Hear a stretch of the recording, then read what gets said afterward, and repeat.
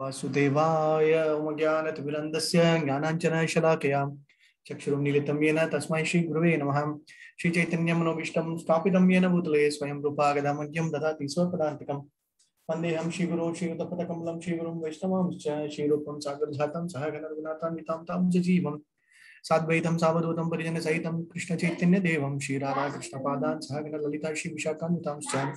हे कृष्णा, करुणा सिंधो दीनबंधो जगत्पते, गोपेशा, गोपिका कांता राधा कांता नमोस्ते तप्त कांचन गौरांगी राधे वृंदावनेश्वरी विशुद्धानुसुते देवी, प्रणमामि हरिप्रिये वाञ्छाकल्पतरुभ्यश्च कृपा सिंधु पतितानां पावनेभ्यो, वैष्णवेभ्यो नमो नमः। हे श्रीकृष्ण चैतन्य, प्रभु नित्यानंद श्री शिवासादि गौर भक्त वृंद हरे कृष्ण हरे कृष्ण कृष्ण कृष्ण, हरे हरे। हरे राम हरे राम राम राम, हरे हरे। नारायण नमस्कृत्य नरम चैव नरोत्तम। देवीं सरस्वती व्यासं। ततो जयं मुदीर्य नष्टप्रायेषु अपत्रेषु नित्यं भागवत सेवयो भगवद्गीतोत्तमश्लोके भक्तिर्भवति वैक्षिति लोकं करोति वाचानं। पङ्गुं लङ्गाय देगिरिं यत्कृपातमहं वंदे। शीघ्रं धीमतां हरिं Hare Krishna. Srimad Bhagavatam fourth canto fifth chapter इनकी ये fourth chapter part sorry fifth chapter part में या ओके ஸோ இன்னைக்கு வந்து இன்னைக்கு நான் சொன்ன மாதிரி அந்த கைலாசம் பத்தி பார்க்க போறோம். ஃபோர்த்து ஃபோர்த்து ஐந்தாவது அத்தியாயத்துல தான் நேற்று டீட்டெயிலாக வந்து அந்த வீரபத்ரன் வந்து எப்படி வந்து தக்ஷனுடைய தலையை கொய்தான் அப்படின்னு தலையெடுத்தது அப்படிங்கறத நம்ம பார்த்தோம். அந்த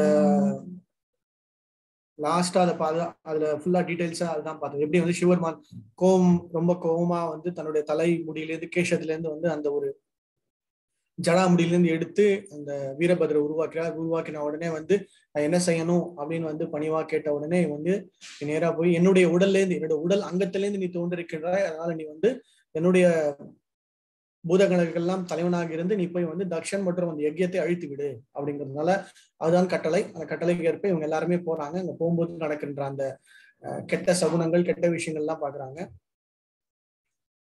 பிரசூதி அதாவது தேவகி அது தக்ஷனுடைய மனைவியான பிரசூதி அதை பார்த்த உடனே அது மாதிரி ஒரு அசம்பாவிதம் நடக்க போகுது அப்படின்னு சொல்லிட்டு உடம்பெல்லாம் நடுங்க ஆரம்பிக்கிறது. அது எப்படி இங்க பிரளய காலத்துல எப்படி சிவபெருமான் வந்து தாண்டவம் ஆடுற மாதிரி ஒரு ஒரு சூழ்நிலை உருவாருது அப்படின்னோடனே ஏதோ ஒரு அசம்பாவிதம் நடக்க போகுது அப்படிங்கிற ஒரு நிலை. அதுக்கப்புறமா வந்து அந்த சிவபெருமானுடைய அந்த மற்ற எல்லாருமா சேர்ந்து அந்த இயக்கிய குண்டத்துல என்னென்னலாம் வந்து நடக்க இருந்ததோ எல்லாத்தையும் அழித்து விடுகின்றார்கள் அப்படிங்கிறத பார்த்தோம். அப்புறம் கடைசியில வந்து அந்த மணிமான் அப்புறம் மற்றவங்க எல்லாருமா சேர்ந்து வந்து அழித்தார்கள் அப்படின்னு பார்த்தோம். கடைசியில வீரபாகு வந்து இந்த பிருகு முனிவருடைய அந்த அந்த மீசையை பிடுங்கிறது இந்த மாதிரி சின்ன சின்ன வேலையெல்லாம் பண்ணிட்டு கடைசியில எப்படி தண்டவர்க்கனுடைய பல்ல வந்து பலதேவர் உடைத்தாரோ அதே மாதிரி வீரபத்ரர் வந்து தக்ஷனுடைய முதல்ல தக்ஷனுடைய ரெண்டு பல்ல உடைச்சிருந்தார் ஓகே? பல்ல உடைச்சிட்டு அதுக்கப்புறமா வந்து அவன் தலையை கொய்ததுக்காக தலை எடுக்கிறதுக்காக ட்ரை பண்றாரு. அதெல்லாம் முடியல. கடைசியில அந்த அந்த அந்த மிருகங்கள் எல்லாம் ஆடு எல்லாம் இது பண்ற அந்த மிஷின் இல்லைன்னா அந்த கட்டை இதை வச்சுக்கோங்க. அந்த மாதிரி ஒரு ஆயுதத்தை வச்சு அவரோட தலையை வந்து கொய்துடுறாரு. கொய்ந்த உடனே எல்லாருக்கும் ரொம்ப சந்தோஷமாயிடுது. ஒரு சைட்ல வந்து வீர இந்த லாஸ்ட் இருபத்தி அஞ்சாவது ஸ்லோகத்துல பார்க்கும்போது பார்த்தோம் இந்த பூதகணங்களுக்கெல்லாம் சாதுவாதுஸ்த ததா தேஷம் கர்ம தத்தஸ்ய பஷ்யதாம். ஸோ சாதுவாதஸ்னா இந்த ரொம்ப சந்தோஷமானது. யாரு? அப்படின்னா வந்து பூத பிரேத பிரிஷாஷ் இவங்க எல்லாம் வந்து சந்தோஷப்பட்டாங்க. ஆனா தத் விபரிய இந்த பக்கம் ஆப்போசிட்ல இருக்கிறவங்க எல்லாம் பாத்தீங்க அப்படின்னா பயந்துட்டார்கள் கடைசியில அதுக்கப்புறம் எல்லாருமே சேர்ந்து அவங்க எல்லாருமே மறுபடியும் வீரபத்ரன் வந்து அந்த தலையெடுத்து அந்த அக்னியில வந்து திருப்பியும் போட்டுட்டு எல்லாருமா சேர்ந்து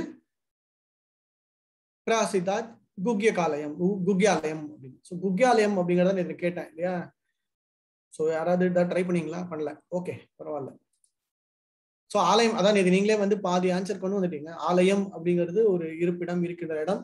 அது துக்காலயம் ஆஸ்வ துக்காலயம் என்ன வேணா சொல்லலாம். பட் இந்த இடத்துல குக்காலயம் அப்படிங்கிறது என்னன்னா பொதுவாக சிவபெருமானுடைய இடம் வந்து ரொம்ப சீக்கிரட்டான ஒரு இடம் அப்படின்னு என்ன என்ன அப்படின்னா பொதுவாக வந்து இந்த எல்லாருக்குமா தெரிந்த இடம் அப்படின்னா சிவபெருமானுடைய இடம் எப்படி இருக்கும்? ஒரே வந்து சுடுகாடுகள் இல்லைன்னா வந்து ரொம்ப இந்த பேத பிரேச பிசாசுகள் இதெல்லாம் இருக்கிற இடம் தான் அப்படிங்கிற மாதிரி ஒரு வெளிப்புறமான ஒரு தோற்றம் ஓகே அதே மாதிரி நம்ம நம்ம ஊர்ல வந்து கைலாயம் இல்லைன்னா கைலாஷ்னா என்ன சொல்லுவாங்க? ஒரு பனிப்பாறைகள் பெரிய பனி இருக்கிற இடம் அது மேல வந்து இதுவும் கிடையாது அப்படின்னு. ஆனா குக்கியத்தமமாக உள்ள குக்கியத்தமமா என்ன இருக்கு அப்படிங்கிறது தான் வந்து ஆறாவது அத்தியாயத்துல ஒரு பத்து பதினாலு ஸ்லோகங்கள்ல வர்ணிக்கப்படுது அதான் இப்ப நீங்க படிச்சுட்டு இருக்கீங்கன்னு நினைக்கிறேன் இல்லையா? ஸோ குக்கியதமம்னா ரொம்ப சீக்ரெட்டிவா உள்ள ரொம்ப பியூட்டிஃபுல்லா யாருக்கு அப்படின்னா சிவபெருமான் சதி தேவி அப்புறம் கூட இருக்கிற அங்க அங்க இருக்கிற ஸ்பெசிபிக்கா மோஸ்ட் குவாலிஃபைடா இருக்கிற அங்க இருக்கிற அப்சரஸ்கள் கிண்ணர்கள் கொஞ்சம் பேருக்கு மட்டும்தான் அது வந்து அதுக்கான என்ட்ரி பாயிண்ட் ஓகே ஸோ அதுக்கு நிறைய ரீசன்ஸ் இருக்கு. அது நம்ம அந்த ரீசன்ஸ் என்னங்கிறது அடுத்த அப்புறம் வர அத்தியாயத்தில் வரும். இந்த கிங் யயாதி இந்த சமயத்துல வந்து அது ஒன்று வரும். ஓகே அது என்னங்கிறது சொல்லுவோம் பட் ஜென்ரலா வெளிப்புறமா அது வந்து தெரிவதில்லை. யாருக்கெல்லாம் வந்து அதுக்கு அதை பார்ப்பதற்கோ அல்ல இது வந்து அந்த தகுதி கிடைத்த பிறகு அவங்களுக்கு அது வந்து ரியலைஸ் ஆகும் அப்படின்னு. ஓகே ஸோ இந்த காலத்துல எல்லாரும் வந்து நான் கைலாஷ் போயிட்டு வரேன்னு சொல்லிட்டு என்ன பண்ணுவாங்க? நேராக நேபாளுக்கு போயிட்டு நேபாளிலேருந்து ஒரு ஹெலிகாப்டர் பிடிச்சி அங்கே மேலே போய் தரிசனம் பண்ணிட்டு வருவாங்க. அது பார்க்கறதுக்கு வந்து அந்த இடத்துல பார்த்தீங்கன்னா அந்த அந்த ஒரு அந்தி சாயிர சமயத்துல இல்ல பகல் பொழுதுல பாத்தீங்கன்னா அந்த சூரியன் ஒளி வந்து இந்த கைலாய மலை மேல விழும்போது பாத்தீங்கன்னா ரொம்ப பியூட்டிஃபுல்லா இருந்துச்சு. ஓகே பார்க்க தான் ஃபுல்லா வந்து ஒரு பனிப்பாறை பனி இதுவா இருக்கும். பட் அந்த ஒரு குறிப்பிட்ட சமயம் பாத்தீங்கன்னா அப்படியே தங்க நொறியா வந்து நேச்சுரலாவே கோல்டன் இது ஃபார்ம் ஆகும். இது வந்து வெளிப்புறமான தோற்றம் ஆனா உள்ள என்ன விஷயங்கள் இருக்கு அப்படிங்கறத ஒரு பதினாலு ஸ்லோகங்கள் நீங்க இப்ப நீங்க படிச்சுட்டு இருக்கீங்கன்னு நினைக்கிறேன். சோ அது என்ன அப்படிங்கறத இந்த அத்தியாயத்துல பார்ப்போம். ஸோ இந்த அத்தியாயத்துல என்ன ஆகுது? ஆறாவது அத்தியாயத்துல ஆறாவது அத்தியாயத்துல வந்து மைத்ரேய உவாச்ச அத தேவகணா சர்வே ருத்ராணிக பாராஜிதா சூலபதிஷ்ட நிதிஷ்டிம்ஸ்த கதா பரிங்க முதேகி சின்ன பின்ன சர்வாங்கா சர்வித் சபிய வயாகுலக ஸோ இவங்க எல்லாரும் முடிச்ச உடனே வந்து கிளம்பி போன உடனே இந்த அந்த வேள்வி இடங்கிற இடத்துல இருந்த எல்லா தேவர்கள் மற்றும் எல்லாரும் வந்து அவமானப்பட்டு தோற்கடிக்கப்பட்டு எல்லாரும் நேரம் எங்க போறாங்க அப்படின்னா பிரம்மா கிட்ட போறாங்க. ஓகே ஸோ பிரம்மா கிட்ட போன போய் இந்த மாதிரி வந்து இந்த இந்த விஷயங்கள்லாம் நடந்தது அப்படின்னு சொல்றாங்க. இந்த மாதிரி சொன்ன உடனே ஃபர்ஸ்ட் பாயிண்ட் உபலபிய பூர்வத்தை பகவான் அப்ஜ சம்பவாகா பகவான் அப்ஜ சம்பவாகா நாராயணச்ச விஸ்வாத்மா கஷ்யாத்வம் தீதுகு ஸோ நாராயணர் அப்ஜ சம்பவாக அப்படின்னா அப்ஜ சம்பவான அஹ், இது நாபிலேந்து பிறந்தவர் தான் பிரம்மா. அதனாலதான் அப்ஜ சம்பவ சம்பவம்னா பிறக்கிறது அப்ஜ சம்பவம்னா தாமரையிலேருந்து பிறந்தவர். ஸோ தாமரையிலேருந்து பிறந்தவர் யாரு? பிரம்மா.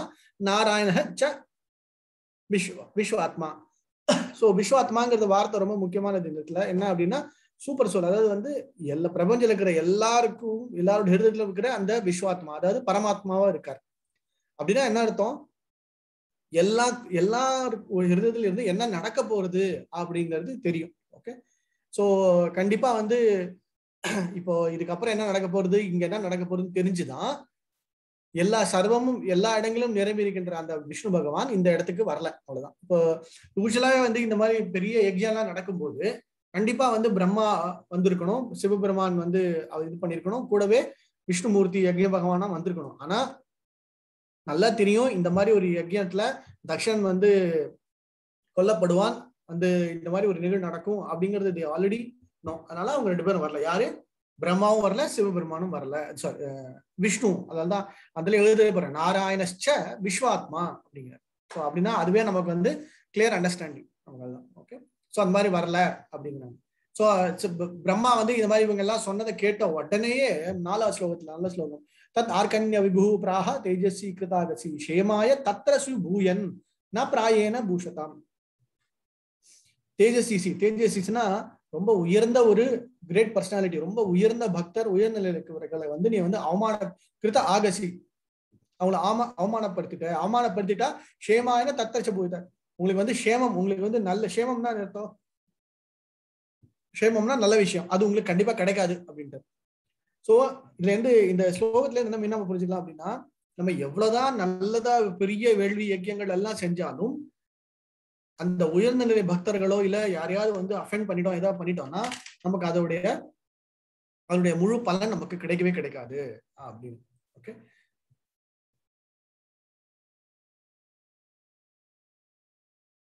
சோ அதனால கண்டிப்பா வந்து அந்த நம்ம செய்கின்ற என்ன ஒரு செயலா இருந்தாலும் அந்த செயல் செய்யும் போது அதுக்கு தகுந்தாற் போல என்னென்ன இது பண்ணணுமோ அதை நம்ம வந்து we have to take care அதுல வந்து என்னென்ன ப்ரொசீஜர் இருக்கும் இப்போ வந்து சில பேருக்கு மரியாதை தரணும்னா சில பேருக்கு மரியாதை தரணும். சில பேர் வந்து ஒழுங்கா கவனிச்சுக்கணும் அப்படின்னா ஒழுங்கா எல்லாமே பர்ஃபெக்டா பண்ணாதான் அதோட பலன் கிடைக்கப்பெறும் அப்படிங்கிறது. ஸோ இந்த பெரிய யஜ்யம் ஆனா இந்த பெரிய யஜ்யத்துல மிகப்பெரிய அபராதம் செஞ்சதுனால தக்ஷன் வந்து நான் நேற்று சொன்ன மாதிரி Dakshan becomes qualified to be killed அந்த point why is qualified to become killed because அவர் வந்து நம்பர் ஒன் சிவபெருமான மதிக்கல. நம்பர் டூ தாக்ஷாயணி வரும்போதும் மதிக்கல. நம்பர் த்ரீ தாக்ஷாயணி வந்து தான் உயிரை விட போறேன் அப்படிங்கும் போது அதை வந்து தடுக்கல. இல்லையா? சோ எந்த விதமான இதுவும் இல்லாம இருந்ததுனால கண்டிப்பா he is more qualified to be killed அதான் பிரபு யாராவது வந்து மனுஸ்மிருத்திலேயே வந்து யாராவது வந்து யாரையாவது வந்து கொண்டுட்டாங்க அப்படின்னா அவங்களுக்கு என்ன தண்டனைனா மறுபடியும் ஒண்ணு மரண தண்டனை இல்ல ஆயுள் தண்டனை தான் அப்படின்னு. ஏன்? ஸோ தட் மறுபடியும் அவங்க வந்து தப்பு செய்ய மாட்டாங்க அப்படிங்கிறது.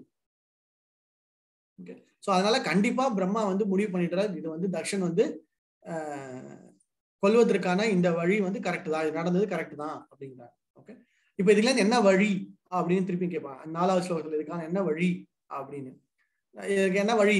ஆதாபியூயம் யூஜம் கிருதா கில்பிஷ பாவம் யோ பரீஷோ பாகபஜம் இதுக்கு என்ன ஒரே வழி? ஷிப்ர பிரசாதம் ஷிப்ர அப்படின்னா ரொம்ப குவிக்கா ஓகே ஷிப்ர பிரசாதம் ஷிப்ரம் பவதி தர்மாத்மா ஷிப்ரம் ஷிப்ரம் இடத்துல வரும் இல்லையா? அந்த ஷிப்ரம்ங்கிற வார்த்தை என்னது? ரொம்ப குவிக்கா என்னது? பிரசாதம்.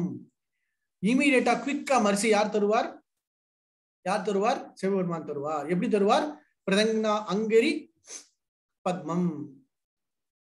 பிரகிஹிதரி அங்க ஆங்கிரி. அங்கிரினா அவருடைய கால்கள். அவருடைய கால்கள்ல போய் யாரெல்லாம் வந்து பத்மம் அந்த தாமரை பாதங்கள்ல வந்து யாரெல்லாம் வந்து சரணாகதி அடைஞ்சாலும் உடனே ஷிப்ரம் பிரசாதம் ஷிப்ர பிரசாதம் அப்படின்னு. ரொம்ப குவிக்கா ஒரு கிடைச்சிடும் அப்படின்னா என்ன அர்த்தம்? சரணாகதி அப்படின்னு அர்த்தம். சோ இதேதான் எல்லா இடத்துலயும் நம்ம பார்த்திருக்கோம் இல்லையா? எல்லா இடத்துலயும் வந்து யார் வந்து நம்ம ஏதாவது ஒரு தப்பு செஞ்சுட்டோம் ஒரு ஒருத்தர் ஒருத்தர்கிட்ட தப்பு செஞ்சுட்டோம் நேரா எங்கெங்கெல்லாம் போய் காலை விழுறதுக்கு நேரா அவரோட காலிலேயே போய் விழுந்தாதான் நமக்கு வந்து அதோடைய விமோச்சனம் கிடைக்குமே தவிர அவர் வழி இல்லை. அதுலயும் சிவபெருமான் மாதிரி ரொம்ப உயர்ந்த நிலை பக்தர்கள்ல அவர் ரொம்ப ரொம்ப கருணை வாய்ந்தவர். உடனடியாக அவர் வந்து மன்னித்து விடுவார் அப்படிங்கிறது இன்னொரு அற்புதமான குவாலிட்டி இல்லையா? சோ அதனால வந்து நீ அவ உடனே நம்ம எல்லாருமா சேர்ந்து அவர்கிட்ட போகதான் ஆகணும் அப்படிங்கறது அந்த பாயிண்ட் ஓகே இதேதான் வந்து நீங்க வந்து இந்த அம்பரீஷ் மகாராஜா துர்வ துர்வாச முனிவரோட லீல பாத்தீங்கன்னா இதே மாதிரிதான். துர்வாசர் வந்து அம்பரீஷ் கிட்ட வந்து இது பண்ண உடனே துர்வாசர் வந்து பல வருஷங்கள் ஓடு ஓடுன்னு ஓடுவார். முதல்ல பிரம்மா கிட்ட வருவார் அப்புறம் வந்து சிவபெருமான் கிட்ட வருவார் அப்புறம் வந்து எல்லா எல்லா இடங்களும் போவார். இந்திரன் எல்லாரிடையும் போது எல்லாம் முடியல கடைசியில சிவ விஷ்ணு பகவான் கிட்ட போகும்போது அவர் என்ன சொல்லுவார்? அவரே வந்து என்னால முடியாது அப்படின்னு. என்ன சொல்றாரு நீ யாருக்கிட்ட அபராதம் பண்ணியோ அவங்க கிட்ட தான் நீ திருப்பி திருப்பி போய் ஆகணும் அப்படின்னு. சோ துருவாசனம் பண்ணுவார்? கடைசியில அவர் வழியே இல்லாம மறுபடியும் அம்பரீஷ் கிட்டே வந்து மன்னிப்பு கேட்பார். அப்ப உடனே வந்து அம்பரீஷ் வந்து ரொம்ப அற்புதமா இது நான் இது பண்றது இல்லை அப்படின்னா அவர் அதே மாதிரிதான் இந்த இடத்துலயும் பாத்தீங்கன்னா வந்து இந்த தேவர்கள் எல்லாரும் வந்து பிரம்மா கிட்ட போறாங்க. பிரம்மா உடனே சொல்றதா இதுக்கெல்லாம் ஒரு வழியே கிடையாது. நீங்க யார்கிட்ட அபராதம் பண்ணீங்களோ அவங்க கிட்ட போகணும். அசுதோஷமா இருக்கிற அந்த ரொம்ப இழகிய மனமுடைய சிப்ர பிரசாதம் தருகின்ற அந்த பகவான் கிட்ட போகணும் அப்படிங்கிறது. ஓகே ஏன் அப்படின்னா ஆசனாக ஜீவிதம் அதர்ஷியா அதாவது வந்து பொதுவா வந்து சுப்பிரமணன் வந்து பயங்கர கோபம். அதே சமயத்துல இந்த சமயத்துல பாத்தீங்க அப்படின்னா வந்து அஹ், ஷமபாத்தியம். ஷமபாத்தியம்னா அவர்கிட்ட வந்து ஷம ஷமனா வந்து தப்பு பண்ணிட்டோம் அப்படின்னு காலை விழுந்துட்டோம் அப்படின்னா கண்டிப்பா அவர் இது பண்ணுவார். ஏன்னா இந்த சமயத்துல பாத்தீங்கன்னா அவரோட மனைவியும் வந்து அவர் இறந்து வி- இழந்து விட்டார். அதே சமயத்துல அவருக்கு கோபம் அவமானம் அந்த இதுவாக இருக்கு. அதனால ரெண்டுமே சேர்ந்து இருக்கனால அவர் வழியே இல்லை. நீங்க அவர்கிட்ட போற தவிர அவர் வழியே கிடையாது. இதுக்கு என்ன சொல்றாரு? இந்திரன் வாயு எந்த எந்த பெரிய ரிஷிகள் முனிகள் இருந்தாலும் யாருமே வந்து அவரை வந்து இது பண்ண முடியாது. ஏன்னா அவர் ரொம்ப ரொம்ப சக்தி படைத்தவர். அவர்கிட்ட யாரும் அந்த மாதிரி சமயத்துல யாரும் போக முடியாது. ஆனா ஆத்ம தந்திரஸ்ய ஆத்ம தந்திரஸ்ய அப்படிங்கிற சிவபெருமான் சொல்லும் போது பிரமாணம் பாலவீரியோகி வ எஸ்ய ஆத்ம தந்திரஸ்ய கஹ உபாயம் விதிதே. சோ இது வேற உபாயம் இது வேற உபாயம் இது வேற வழியே இல்ல அப்படிங்கிறார் சிவபெருமான சொல்லும் போது ஆத்ம தந்திரஸ்ய ஆத்ம தந்திரஸ்யனா பொதுவா நம்ம எப்படி புரிஞ்சுக்கிறது? ஆத்மா நிலையை ரொம்ப உயர்ந்த நிலை ஆத்ம தத்துவத்தை ஆத்ம சாட்சா்காரத்தை முழுமையாக தெரிந்து கொண்டவர் முழுமையாக தன்னில் இருக்கின்றவர். நா அகம் ந யக்ஞக நச்ச நயூ நா அகம் நான் ந யக்ஞக இந்திரன் நச்ச யூயம் எல்லாருமே யாராலுமே இது முடியாது. முனையாக சத்வம் விதுஹு.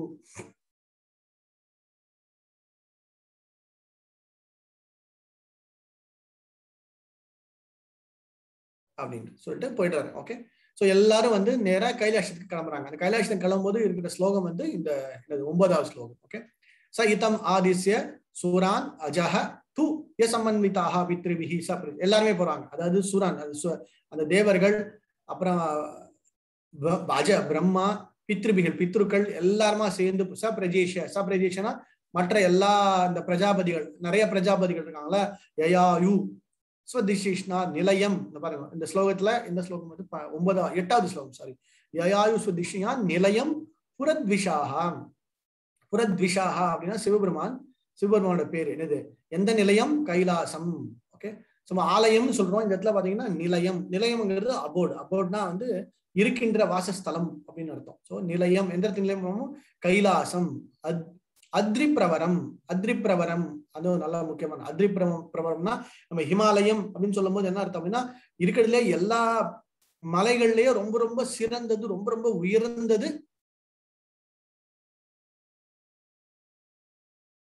சிவபெருமானுக்கு ரொம்ப பிடிச்சது பிரியம் பிரபோகோ அப்படிங்கிறார். ஓகே பிரியம் பிரபோகோ பூரத்விஷா கைலாசம் அத்ரிப்பிரவரம் சோ அந்த அத்ரிப்பிரவமான அந்த சிவபெருமானுக்கு ரொம்ப ரொம்ப மிக பிடித்தமான இடம் கைலாசம் அந்த மலை என்னது? எல்லா மலைகளை விட உயர்ந்தது. ரொம்ப ரொம்ப பெஸ்ட் அப்படிங்கிறது அத்ரி பிரவரம் அப்படிங்கிற வார்த்தை. அழகான ஸ்லோகம். அத்ரி பிரவரம் அதுல இருந்து ஒன்பதாவதுல இருந்து கிட்டத்தட்ட பதினாலு ஸ்லோகங்கள் நீங்க ஐ திங்க் இந்த ஸ்லோகம் படிச்சிட்டீங்கன்னு நினைக்கிறேன் இல்லையா? ஜென்மாவசிரி தப்போ மந்திர யோ தப்போ மந்திர யோக சித்தை நரேதா ஜென்ம ஆசுதி தப மந்திர யோக சித்தஹிம். சோ யோகம் மந்திரம் இதெல்லாம் சேர்ந்து உருவாகின்ற அற்புதமான இடம் அது. அந்த இடத்துல பாத்தீங்க அப்படின்னா பலவிதமான ஔஷதி ஔஷதம் ஔஷதினா வந்து ஆஹ் பலவிதமான அந்த மூலிகைகள் இல்லைன்னா வந்து செடி கொடிகள் செடிகள் ஸோ அந்த மாதிரி ரொம்ப அற்புதமா இருக்கிறது. அப்படின்னு சொல்றாரு. அது எப்படி உருவாருது வேத மந்திரங்கள் மற்றும் யோக வழிமுறைகள்னால அது வந்து பியூர் சும்மா சாதாரணமா வளர்ற செடிகள் கிடையாது. சாதாரணமா வள வளர்ற செடி கொடிகள் மாதிரி கிடையாது அப்படிங்கிறார். ஓகே சோ சாதாரணமா வளர்ற செடி கொடிகள் கிடையாது. ஆனா எப்படி வளர்ந்துருக்கு? வேத வேத மந்திரங்கள் மற்றும் யோக வழிமுறைகள்னால அது உருவாயிருக்கு அப்படின்னு. சோ அதனாலதான் இந்த செடி கொடிகள்லாம் வந்து எந்த இடத்துல வளருதுங்கிறது ரொம்ப முக்கியம். நீங்க துளசி செடியை வீட்டுல வச்சிருந்தீங்கன்னா கூட டெய்லி துளசி செடியோட நீங்க வந்து ஹரே கிருஷ்ண மந்திரத்தை சொன்னீங்க அப்படின்னா கண்டிப்பா அதுக்கு நிறைய பொட்டன்சி இருக்கு. ஓகே நீங்க நீங்க வந்து சாண்டிங் பண்ணும்போது துளசி மாராணியை கூட வச்சுன்னு பண்ணீங்க அப்படின்னா உங்களுக்கு வீட்டுக்குள்ள வீட்டுக்கு வெளியே அதை சுத்தி வந்து அந்த வைப்ரேஷன் ரொம்ப பியூட்டிஃபுல்லா இருக்கும். ரொம்ப அற்புதமா இருக்கும். ஓகே அதனால இந்த இந்த ஸ்லோகம் சொல்லும் போதே வந்து மந்திர யோக வழிமுறைகள் அப்படிங்கிறார். அப்புறம் கூடவே அந்த சொல்றாரு? மற்ற இந்த கிங்கரர்கள் கந்தரவர்கள் அவங்க எல்லாரும் வந்து அவங்களுடைய மனைவிகள் அந்த அப்சரஸ்கள் அவங்களோட சேர்ந்து அந்த இடத்துல இருக்கின்றார்கள். நானா மணி அதுக்கு அடுத்தது பாத்தீங்கன்னா நானா மணிமய சிங்கர் நானா தாத்து விசித்ரஹ நானா துருமலதா குல்மைரி நானா மிருக கானவை ஸோ நானா நானான அர்த்தம்? நானா பல விதமான பல வகையான அப்படின்னு சொல்லி பல வகையான மணிக்கள் பல வகையான இதெல்லாம் இருக்கு அப்படிங்கிற ஸ்ருங்கைகி அதோடைய அதோடைய கோபுரத்துல பாத்தீங்கன்னா பலவிதமான ரத்னங்கள் வைரூரியங்கள் இதெல்லாம் படிஞ்சிருக்கு. நானா தாத்து விசித்திர. பலவிதமான தாத்துக்கள். தாத்துக்கள்னா மினரல்ஸ் பலவிதமான எலிமெண்ட்ஸ் அதெல்லாமும் இருக்கு.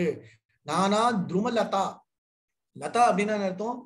பக்தி லதா பீஜம் அப்படின்னுவாங்க. அந்த லதாங்கிறது கொடி அப்படின்னு அர்த்தம் பொதுவா. லதா அப்படின்னா கொடி.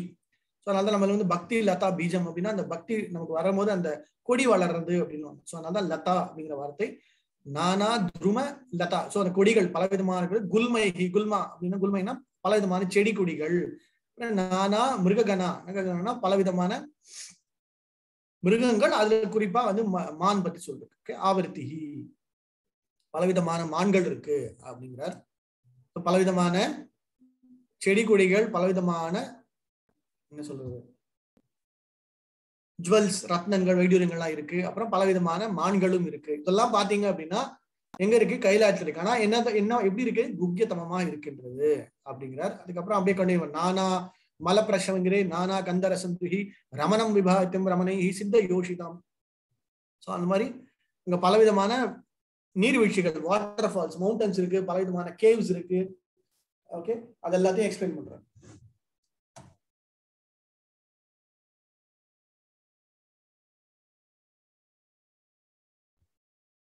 ஸோ பலவிதமான என்ன சொல்றது வாட்டர் ஃபால்ஸ் நீர்வீழ்ச்சிகள் இருக்கு பலவிதமான குகைகள் இருக்கு. இதெல்லாம் பார்க்கறது ரொம்ப ரொம்ப ரம்யமா இருக்கு. மயூர கேகா அபிவிருத்தம் மதனாலி வினூச்சிதம் பிராவலைத்தி ரக்த கந்தானாம் குஜேதி ஹீத ஸோ அதுக்கப்புறம் என்ன சொல்ல நம்ம இந்த நீர்வீழ்ச்சிகள் இந்த மாதிரி வந்து குகைகள் அதெல்லாம் இருக்கு. கூடவே வந்து அந்த இடத்துல வந்து பலவிதமான பெண்கள் வந்து அற்புதமா பாட்டு பாடிட்டு இருக்காங்க. பலவிதமான ஒலிகளை எழுப்பி கொண்டிருக்கிறார்கள். ரொம்ப அழகான சில அப்சரஸ்களும் அங்கே இருக்கின்றார்கள் அப்படின்னு சொல்றார். மயூர மயூரானது பீகாக் அது வந்து என்ன சொல்றது? மயில். மயில் குயில்கள் எல்லாம் அந்த இடத்துல இருக்கு அப்படிங்கிற. ஸோ மயில்கள்லாம் நல்லா ஆடுறது பாடுறது அந்த வண்டுகள் தேனீக்கள் வண்டுகள்லாம் அந்த ரீங்காரம் விட்டு கொண்டிருக்கின்றது குயில்கள் பாடிக்கொண்டிருக்கின்றன அந்த மாதிரி வந்து அந்த அட்மாஸ்பியர் வந்து நமக்காக வந்து நம்ம கண் முன்னாடி கொண்டு வர்றேன் ஓகே ஸோ சாதாரணமா நம்ம நினைக்கிற மாதிரி வந்து ஒரு இடம் கிடையாது. ரொம்ப ரொம்ப பியூட்டிஃபுல் ரொம்ப அற்புதமான ரொம்ப ரம்யமான இடம். மயில்கள் ஆடுகின்றன குயில்கள் பாடுகின்றன தேனீக்கள் வண்டுக்கள் ரீங்காரம் இடுகின்றன நீர்வீழ்ச்சிகள் இருக்கின்றன. பார்க்கறதுக்கு ரொம்ப ரொம்ப ரொம்ப ரம்யமான இடம். பலவிதமான நானாவிதம் பலவிதமான செடி கொடிகள் எல்லாம் இருக்கின்றன. பலவிதமான நறுமண அடுத்தது வரும்போது நறுமண பலவிதமான நறுமண பூக்கள் இருக்கின்றன. யானைகள் மற்றும் இதெல்லாம் வந்து அந்த இடத்துல வந்து சர்வசாதாரணமா யானைகள் எல்லாம் போயிட்டு இருக்கு. அடுத்த ஸ்லோகத்தில் காமதுகை துருமைகி விரஜந்தம் இவ மாதிரிகி விருக்னதாம் இவன் நிர்ஜனைகி ஸோ அதுல பலவிதமான பெரிய பெரிய மரங்கள் இருக்கு. அந்த இடத்துல ரொம்ப சர்வசாதாரணமா வந்து அந்த யானை கூட்டங்கள்லாம் போறது. அந்த யானை கூட்டங்கள்லாம் வந்து ரொம்ப தூரத்துல இருந்து போகும்போது பார்த்தா பிரஜந்தம் இவ மாத்தங்கைகி மாத்தங்கைனா அந்த எலிஃபன்ஸ் அதாவது அந்த யானைகள்லாம் நடந்து பார்த்தா ஏதோ அந்த கைலாச மலையே நகர்ந்து போற மாதிரி ஒரு இது இருக்கு. நிர்ஜாரகி பலவிதமான நீர்வீழ்ச்சிகளும் இருக்கின்றது. அப்படிங்கிறார். அதுக்கப்புறம் வந்து பதினாலு பதினஞ்சு தான் ஐ திங்க் ஃபுல்லா மந்தாரம் மந்தாரப்பூ பாரிஜாத்தம் சரளைஹி சோபிஷ்டும் தமாலம் சாலம் தாளம் குவிதிரம் சோ எல்லா கூத்தக கடம்பம் நாகம் புன்னகம் சம்பகம்.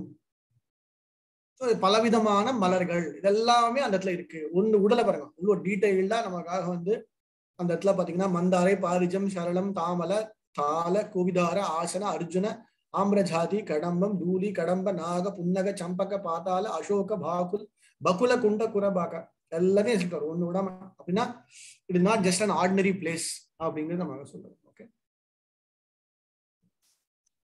ஸ்வர்ணார்ண சதபாத்திரகைச்ச வரரேணுக ஜாதிபிகி குப்ஜைகீர் மல்லிகாபிச்ச மாதவிபி மந்திதாம் ஸோ இது தவிர ஸ்பெஷல்லா சில ஸ்வர்ணாரக சதபாத்திரகைகி ஸோ இதெல்லாம் வந்து அந்த மரங்கள் செடிகள் இந்த மாதிரி பலவிதமான ஃப்ளவர்ஸ் பலவிதமான மலர்களை பற்றி எக்ஸ்பிளைன் பண்ணிட்டார். ஆனால் அதுக்கப்புறம் ஸ்பெசிஃபிக்காக சில மலர்களை மட்டும் சொல்றாரு ஓகே ஸோ அதுக்குன்னு தனியாக ஒரு ஸ்லோகம் அதுல என்னது? ஸ்வர்ணார சத பத்திரகி அப்படின்னா அந்த கோல்டன் லோட்டஸ் ஃப்ளவர் கோல்டு ஸ்வர்ணாரன் அதாவது சாதாரணமா இருக்கிற வந்து ஃப்ளவர்ஸ் கிடையாது. ஸ்வர்ணம் அதாவது வந்து கோல்டன் கலர்ல இருக்கும். வர ரேணுக ஜாதிபிகி. வர ரேணுக்கா மாலை. ஸோ ஸ்பெஷல் ஃப்ளவர்ஸ் இருக்கு. குப்ஜாக்கா அப்படின்னா ரொம்ப அதாவது வந்து குப்ஜாக்கா அப்படின்னா வந்து பொதுவாக நம்ம வந்து இந்த ஸ்மெல் ரொம்ப ஜாஸ்தியா இருக்கும். ஓகே மல்லிகை மலர்கள் மாதவி மலர்கள் இதெல்லாம் வந்து இது பண்ணி அதுல ரொம்ப அழகா அலங்காரம் செய்யப்பட்டுள்ளது அப்படிங்க அது தவிர அப்புறம் மலர் மலர்கள் அதுக்கப்புறம் அடுத்து பதினேழு பாத்தீங்கன்னா பானை பனச பனச பனசம்னா வந்து ஜாக் ஃப்ரூட் ஆக்சுவலா தமிழ் இல்லைன்னா வந்து சொல்லுவாங்க. பனச உதும்பர அஸ்வத பிளக்ஷ நியோகிரத இந்துபீஹி பலவிதமான மரங்கள் ஓகே பலாமரம் லக்ஷ மரம் ஆலமரம் எல்லா மரமும் இருக்கு. இது தவிர புஜாரைஹி ஓஷதைகி புங்கைகி ராஜபுகைகி. ஸோ மலர்களையும் மரங்களையும் பலவிதமான மரங்கள் எடுத்து சொல்றாரு ஓகே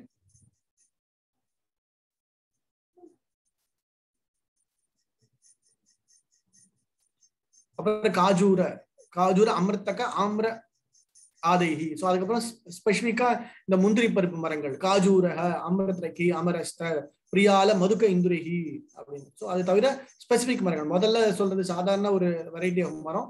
அதுக்கப்புறம் வேணு கிச்சாக்கைஹி. வேணு கிச்சாக்கைஹினா அந்த மூங்கில் மரங்கள். ஓகே மூங்கில் மரத்தை பத்தி வந்து சொல்றேன்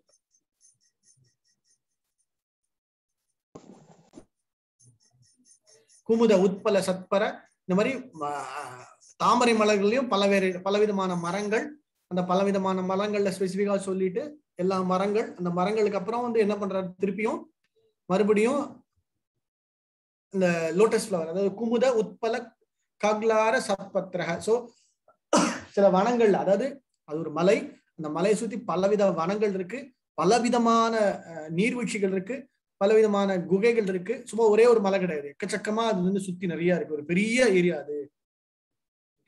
அந்த இடத்துல பாத்தீங்கன்னா எல்லா விதமான விலங்கினங்கள் இருக்கு. மான் குரங்கு என்னது சொல்றது? சிங்கம் புலி மான் நம்ம தமிழ்ல சொல்லுவோம் எல்லாம் அதுல இருக்கு அப்படிங்கிறார் எல்லாமே நல்லா சந்தோஷம். எல்லாம் சொல்லிட்டு கடைசி ரொம்ப முக்கியமான சொல்றாரு எல்லாமே ரொம்ப சந்தோஷமா நிம்மதியா இருக்கு அப்படிங்கிற பாயிண்ட் எடுத்து சொல்றேன் அப்புறம் வெரைட்டிஸ் ஆஃப் டீர் அதாவது மான்கள்லயே பலவிதமான மான்களை பத்தி எக்ஸ்பிளைன் பண்றார். அதுக்கப்புறம் இருபத்தி ரெண்டுல ரொம்ப ஸ்பெசிபிக்கா பரிஷத்தாம் நந்தயா சத்யா ஸ்நான புண்ணியாத்துறையோ விலோக்கிய பூதேஷி கிரீம் விபூத விஷமயம் யஜுகு அந்த இடத்துல அலக் நந்தா அலக் நந்தா அப்படின்னு ஒரு பெரிய ஏரி. அதாவது வந்து அந்த ஏரி தான் ரொம்ப ஸ்பெசிபிக் நீங்க கேள்விப்பட்டிருப்பீங்க அலக் நந்தா ரொம்ப ரொம்ப ஸ்பெசிபிக்கான ரொம்ப முக்கியமான ரொம்ப குக்கியத்தமா இருக்கின்ற ஒரு ஏரி. அந்த ஏரி தான் வந்து அந்த ஏரி இல்லைன்னா குளம்னு சொல்லலாம். அந்த குளத்துல தான் சதிதேவி தினமும் நீராடுவார்கள். ஓகே பரிரத்தம் நந்தயா சத்யா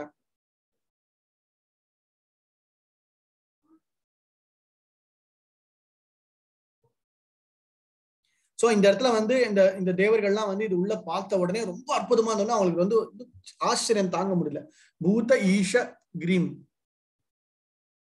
ஸோ இந்த கைலாய மலையத்துக்குள்ள இந்த இடத்துல இந்த அலக்நந்தா அப்படிங்கிற அந்த குளத்தை அந்த ஏரியை பார்த்த உடனே அவங்க ரொம்ப சந்தோஷமாயிடுது அப்படிங்கிற. புரோபாத் சொல்ற ஜென்ரலா வந்து சிவபெருமானுடைய அந்த ஜடா முடியுது கங்கை வரதுனால அந்த கங்கை வழியாக அதிக அந்த அலக்நந்தா வந்து வரும் அப்படிங்கிற பாயிண்ட் சொல்றாரு. பட் ஜென்ரலா நம்ம அதை அப்படிதான் புரிஞ்சுக்கணும் அவ்வளவு ஓகே ரொம்ப ஸ்பெசிஃபிக்கா உள்ள போக வேண்டாம்.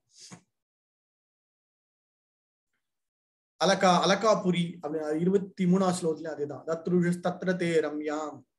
அலகாம் நாம வைபுரிம் அலகா நாம வைபுரி அப்படின்னா அலகாபுரி. அலகா நாம அப்படின்னா அந்த அந்த இடத்துக்கு பேர் என்னது? வைபுரி வனம் சௌந்தரிகம் சாப்பி எத்திர நாம பங்கஜம்.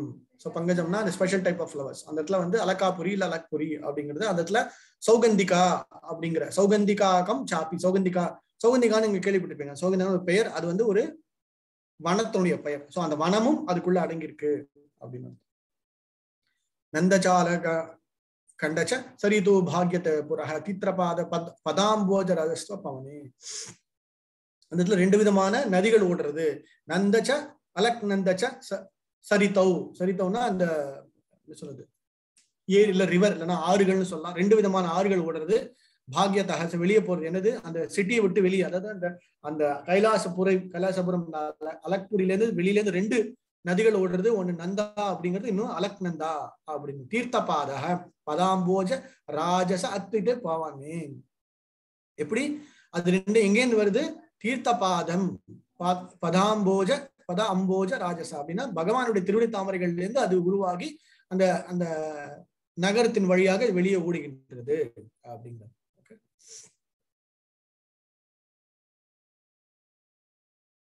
சோ அங்க இருக்கிற அந்த யயோ சுரஸ்திரிய சுரஸ்திரிய சத்ரு ஆவ்ரியுஹஸ்திஷ்டா சோ அங்க இருக்கிற அந்த பெண்கள்லாம் வந்து திசேந்தியா சோ தங்களுடைய அந்த விமானங்கள்ல இந்த ஆகாய விமானங்கள்ல இருந்து இந்த இடத்துல எல்லாம் வந்துட்டு அவங்க தங்களுடைய நீராடி குளித்து விட்டு எல்லாம் செஞ்சு அவங்களுடைய அந்த கேளிக்கைகள்லாம் வந்து இந்த இடத்துல செஞ்சுட்டு போவாங்க அப்படின்னு. சோ அது ரொம்ப ரொம்ப ரொம்ப ரம்யமான இடம் அப்படிங்கிற பிரபாத டீட்டெயிலாக அந்த அதுக்குன்னு ஒரு பெருசா ஒரு டீட்டெயிலா போட்டிருக்காரு ஓகே ஆனா நமக்கு நம்ம அந்த இதுல வந்து ரொம்ப முக்கியமான பாயிண்ட் என்ன எடுத்துக்கணும்னா தீர்த்த பாதம் அப்படிங்கிறது ரொம்ப முக்கியம்.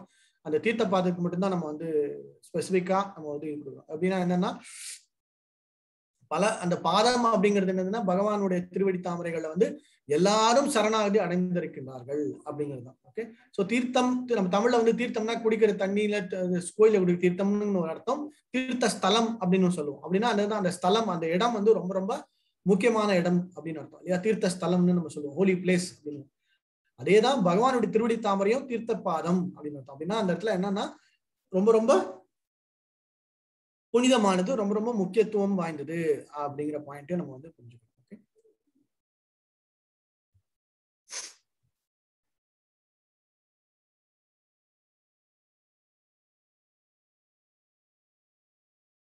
அப்புறம் அதான் இந்த ஸ்லோகத்துலலாம் நம்ம அதை மெயினா தெரிஞ்சுக்க அதே மாதிரி அது ஒன்றும் பெருசா தா தார ஹேம மகாரத்ன விமான சப்தசங்குலம் ஸோ இந்த பெண்கள்லாம் வந்து பண்ணிட்டு போவாங்க. அதுக்கப்புறம் வந்து யானைகள்லாம் வந்து குளிச்சுட்டு போகும். அதெல்லாம் சொல்லியிருக்காரு. ரொம்ப ஸ்பெசிஃபிக்கா அதெல்லாம் போக வேண்டாம். பட் மெயினான பாயிண்ட் மட்டும் தெரிஞ்சுக்கிறது என்னன்னா குகியத்தமமா இந்த இடத்துல இருக்கும் அப்படிங்கிறது.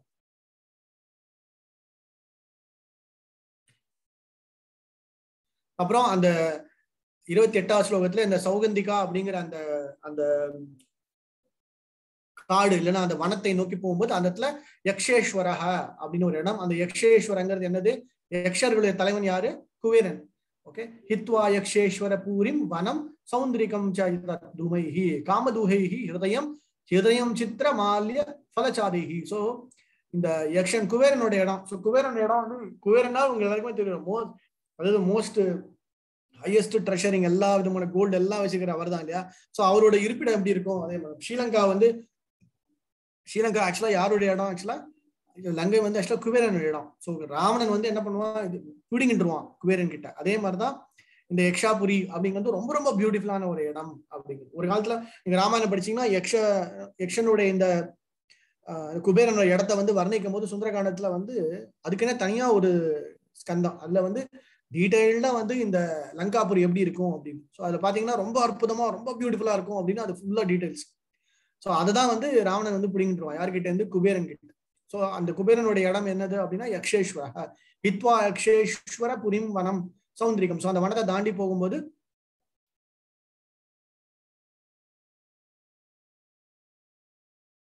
இந்த இந்த யக்ஷேஸ்வரனையோட வனத்தையும் பார்த்துன்னு போறோம் அப்படின்னு சொல்றாங்க. ஓகே இப்போ எப்படி வந்து பிரபுபாத் நம்ம சொல்லுவார் கிருஷ்ண பகவானுடைய கிருஷ்ணலோகம் வைகுண்ட லோகம் பிளஸ் இல்லைன்னா வந்து நம்மளுடைய கோலோகத்துல எப்படி வந்து இந்த கல்பவருஷ மரங்கள் எல்லாம் வந்து இருக்கோ அதே மாதிரிதான் இப்ப நீங்க இந்த இந்த இடத்துல பாத்தீங்கன்னா இதோட வர்ணநிலை இந்த பதினஞ்சு ஸ்லோகத்துல பாத்தீங்கன்னா உங்களுக்கு தெரியும். எவ்வளவு பியூட்டிஃபுல்லா எல்லாமே இருக்கு அப்படிங்கறத வந்து வர்ணிக்கப்பட்டுள்ளது அப்படிங்கறத வந்து நம்ம மேலோட்டமா தெரிஞ்சுக்கலாம். இது இது நமக்கு வந்து மேலோட்டமா தெரிஞ்சுக்கிறது தான் சரியா?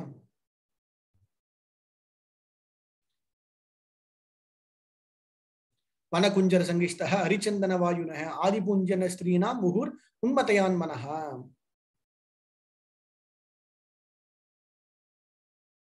ஸோ அந்த சந்தன மரங்கள் சந்தன அந்த காடுகள்லாம் இருக்கிறதுல பார்த்தீங்கன்னா ரொம்ப ரொம்ப ரொம்ப ரம்மிய ரொம்ப ரம்மியமாகவும் குஞ்சன ஸ்திரீனம் அதாவது வந்து யக்ஷர்கள் அவரோட மனைவிகளோட இந்த இதெல்லாம் வந்து தெரிந்து கொண்டு இருப்பார்கள். ஸோ மனசு ரொம்ப ரொம்ப பௌதிக விஷயத்துக்கான ஈடுபாடுறதுக்கு ஜாஸ்தியான விஷயங்கள்லாம் இதுல இதுவா இருக்கிற மாதிரி இருக்கும் அமைக்கப்பட்டுள்ளது அப்படிங்கிறது.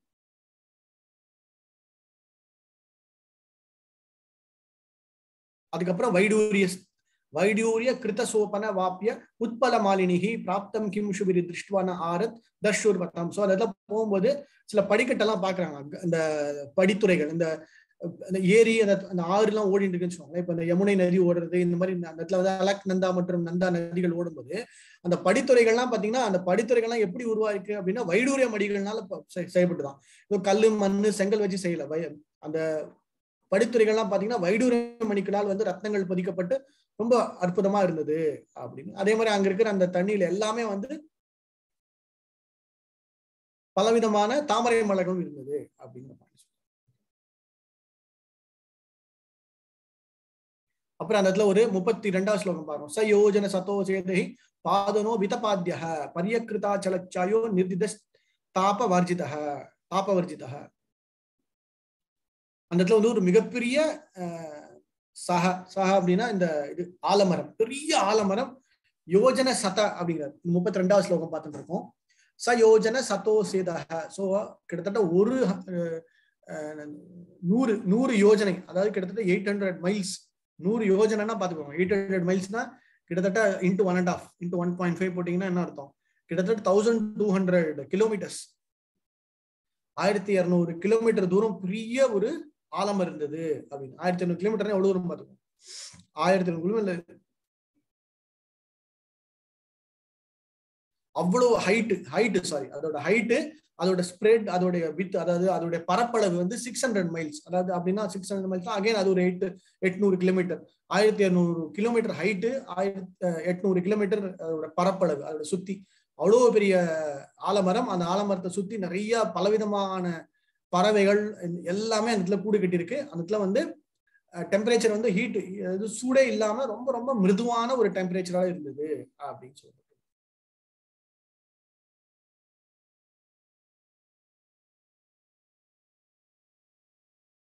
ஸோ பொதுவாக அந்த மாதிரி மரங்கள்ல வந்து என்ன பண்ணுவாங்க அப்படின்னா அந்த தபஸ் பண்றதுக்கு யூஸ் பண்ற தபஸ் பண்றதுக்கு ரொம்ப இருக்கும். ஆனா இந்த இடத்துல என்ன எழுதுறா பாருங்க அந்த இடத்துல வந்து ஒரு செடி அந்த பெரிய மரம் ஆனா அந்த மரத்துல வந்து எல்லாரும் என்ன எக்ஸ்பெக்ட் பண்ணுவாங்கன்னா பலவிதமான இந்த பட்சிகள்லாம் வந்து இது அது பேர் என்னது? கூடு கட்டியிருக்கும் அப்படின்னு. ஆனா இந்த இடத்துல கூடு கட்டல அப்படிங்கிறதா போடுறது பொதுவா நம்ம மரம் அப்படின்னோடனே செடிகள்லாம் மரம் மரம் செடி கொடி அப்படின்னா கண்டிப்பா வந்து இந்த பட்சிகள்லாம் வந்து கூடு கட்டியிருக்கும். அந்த இடத்துல கூடு கட்டலையாம் அந்த பாயிண்ட் தான் ஸ்பெசிஃபிக்கா சொல்றோம் நம்மளுடைய கூடு கட்டியிருக்கோம் அப்படின்னு நம்ம பார்த்தோம்.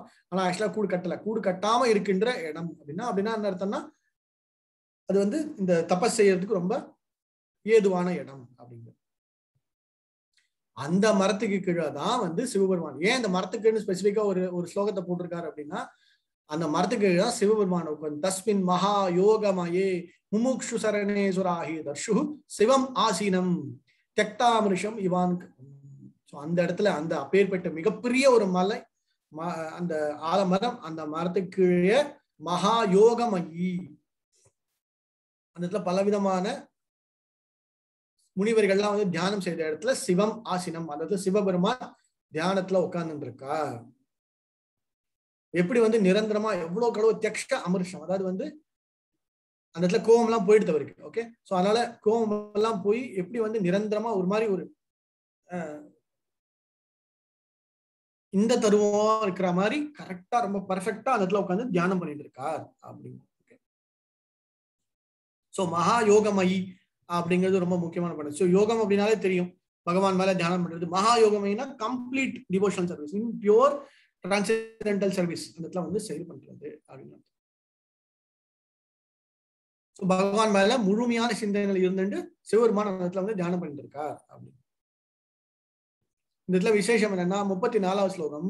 சனந்தனானை மகா சித்தை சாந்தை சம்சான் விக்கிரகம் உபஷ்யமானாம் சக்கியாச்ச பிராதர்த்த குக்ய ராட்சசாம் குக்ய ராட்சசாம் குக்யாஸ் அண்ட் ராட்சசா சோ இந்த இடத்துல என்ன விசேஷம் அப்படின்னா ரொம்ப முக்கியமான விசேஷம் என்னன்னா சிவபெருமான் கூட யார் உட்கார்ந்து இருக்காங்க அப்படின்னு பார்த்தா இந்த சனத்குமாரர்கள் உட்கார்ந்து இருக்காங்க ஓகே அப்படின்னா என்ன அர்த்தம்? யூஸ்வலா சனத்குமாரர்கள் வந்து பாத்தீங்க அப்படின்னா இந்த ரிஷிகள் முனிவர்கள் அதுவும் பிரம்மாவுடைய இமீடியட்டான சன்ஸ் இல்லையா? நம்ம பார்த்தோம். மகிழ்ச்சி அத்ரி இவங்கெல்லாம் இருப்பாங்க. கண்டிப்பா சனத்குமார்கள் இருப்பாங்க.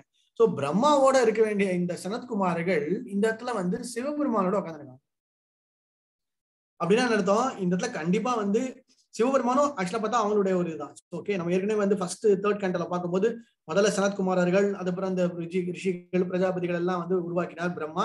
சிவபெருமானும் அவர் தான் வந்து அவருடைய அந்த நெற்றி புருவத்திலேருந்து உருவாக்கினார் அப்படிங்கிறத பார்த்தோம் இல்லையா? இந்த இடத்துல பாத்தீங்கன்னா சிவபெருமானோட அந்த நான்கு குமாரர்கள் இருக்காங்க அப்படின்னாலே தெரிஞ்சிடும். அப்ப எவ்வளவு முக்கியத்துவம் வாய்ந்தது எவ்வளவு முக்கியத்துவமான அந்த மெடிடேஷன் ஏன்னா அந்த கான்சென்ட்ரேஷனோட சேர்ந்து தியானம் பண்ணிக்கிட்ட நிலை. ஏன்னா இந்த நான்கு சனத்குமாரர்கள் நாலு பேருமே என்ன என்ன வரம் வாங்கினார்கள் எவ்வளவு நாட்களாலும் வயது மாறாமல் அப்படியே இருக்கணும். அதே சமயத்துல முழுமையா தியானத்துல ஈடுபடணும் தான் அவங்களுடைய இன்டென்ஷன் இல்லையா? சோ அதனால இந்த இடத்துல பாத்தீங்கன்னா சனத்குமாரர்கள் சூழ சிவபெருமான் உட்கார்ந்துட்டு இருக்கார் அப்படிங்கிற சொல்றாரு